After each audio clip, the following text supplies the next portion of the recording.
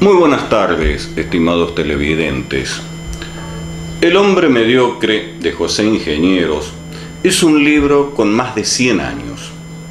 Ahora bien, su frescura original, su sentido de la proporción ideológica, su capacidad conceptual, sus atisbos, no han perdido vigencia, sino al contrario, perduran en el tiempo. Hoy, cuando el frenético ritmo de la vida nos induce a perder el sentido de la conducta, no es tarea inútil releer o leer el libro de ingenieros. Al contrario, hay pensamientos que reposan lo mismo que el buen vino y que con el tiempo se vuelven más generosos. Prólogo del profesor doctor Raúl Carrancá Rivas, abogado penalista en México.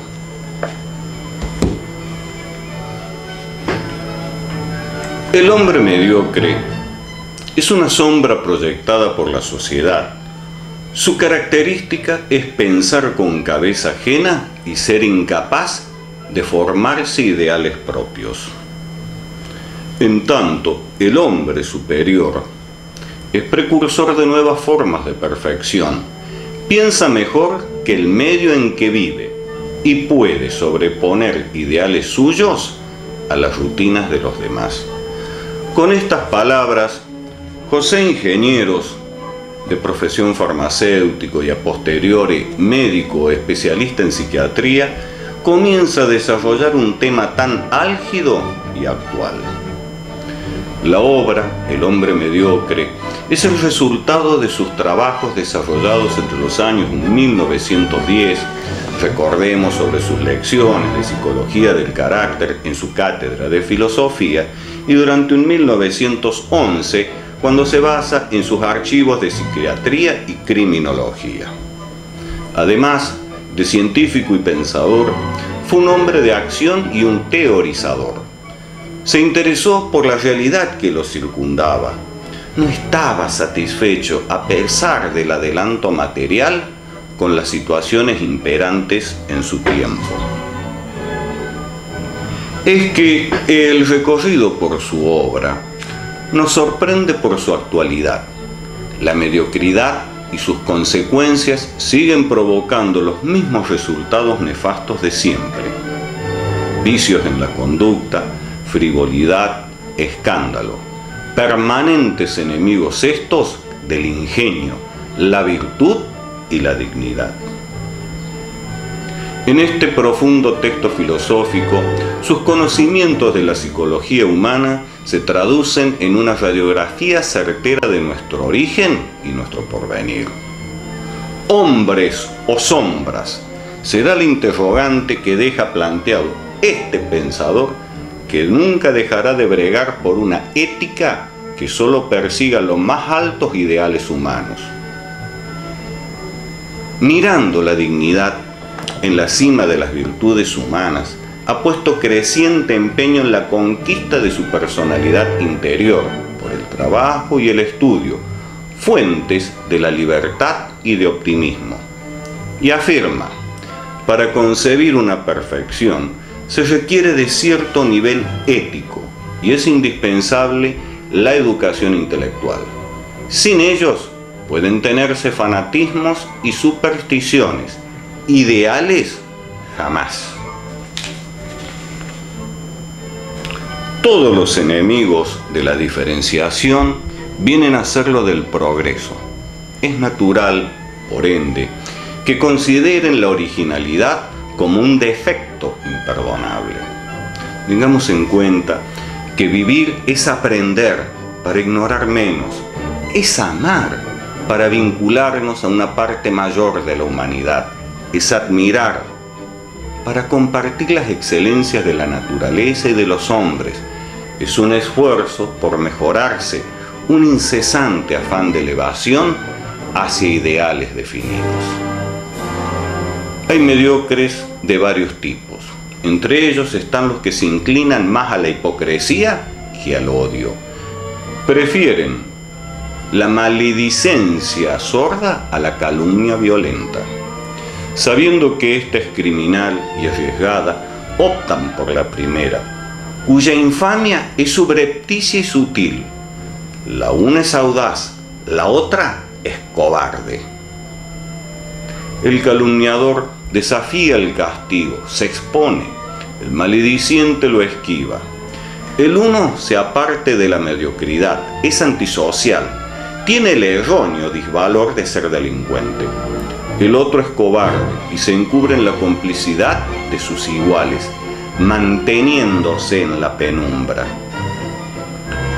La personalidad de cada ser humano, sus preferencias, sus actitudes, su punto de vista, vienen en grupos o racimos, como sucede con las uvas. Si uno pudiera examinar una uva, tendría una idea bastante precisa de cómo serán las otras uvas de ese mismo racimo. Y es que justamente con solo probar una, se sabrá el sabor de las otras, aunque las diferencias sean pequeñas. La cobardía es sin duda maledicencia.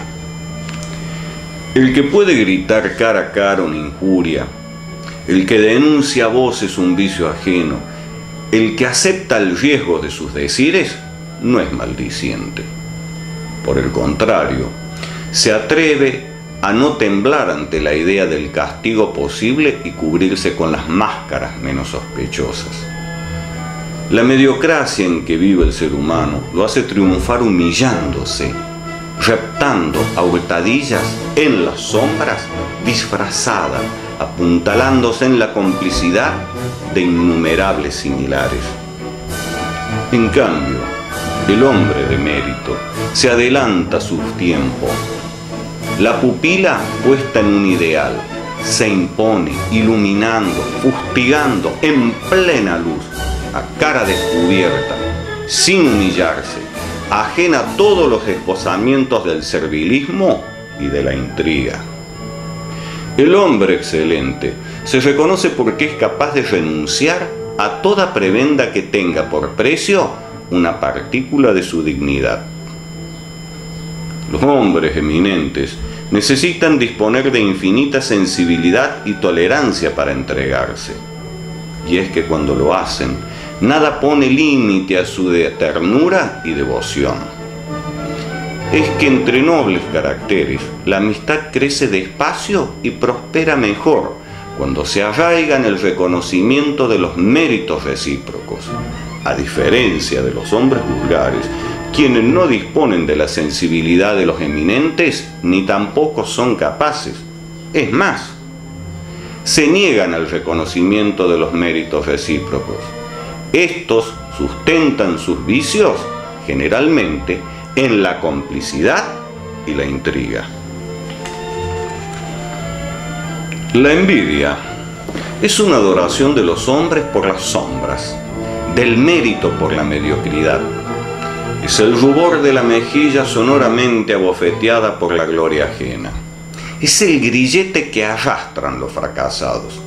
Es el acíbar que paladean los impotentes es un venenoso humor que emana de las heridas abiertas por el desengaño de la insignificancia propia. Es la más innoble de las torpes lacras que afean a los caracteres vulgares. El que envidia se rebaja sin saberlo, se confisa subalterno. Esta pasión es el estigma psicológico de una humillante inferioridad, sentida, reconocida. No basta ser inferiores para envidiar, pues todos los hombres de alguien en algún momento lo son. Es necesario sentir el bien ajeno, la dicha ajena, de cualquier culminación ajena. En ese sufrimiento está el núcleo moral de la envidia. Corroe el corazón como un ácido, lo muerde como una polilla, lo carcome como la herrumbre al metal. Entre las malas pasiones, ninguna la ventaja. Plutarco decía que existen almas corrompidas hasta jactarse de vicios infames, pero ninguna ha podido confesarse envidiosa, porque reconocer la propia envidia implicaría, a la vez, declararse inferior al envidiado, tratándose de pasión tan abominable y universalmente detestada, avergüenza al más impúdico y hace lo indecible por ocultarla. Fue siempre tanta su difusión y su virulencia que ya la mitología greco-latina le atribuye un origen sobrehumano, haciéndola nacer de las tinieblas nocturnas. Es pasión traidora y propicia las hipocresías. Es el odio como la ganzúa la espada. La emplean los que no pueden competir con los envidiados. Es que en los ímpetus del odio puede palpitar el gesto de la garra que en un desesperado estremecimiento destroza y aniquila. En la subrepticia reptación de la envidia, solo se percibe el arrastramiento tímido del que busca morder el talón. Teofrasto creyó que la envidia se confunde con el odio o nace de él, opinión ya anunciada por Aristóteles, su maestro. Plutarco abordó la cuestión preocupándose de establecer diferencias entre las dos pasiones.